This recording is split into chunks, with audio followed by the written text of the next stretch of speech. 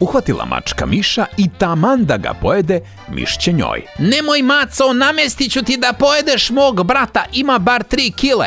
Pa meni se baš ti sviđaš. Nemoj maco, namestit ću ti sestru da znaš samo kako je bela i debela. Ali ti si baš sladak i ukusan. Nemoj, evo maco, namestit ću ti čaleta, znaš da je ko tenk. Mmm, njega već odavno sanjam u stomaku. Može. Pusti njega mačka, ali on odmah uleti u rupu. Narava učenije.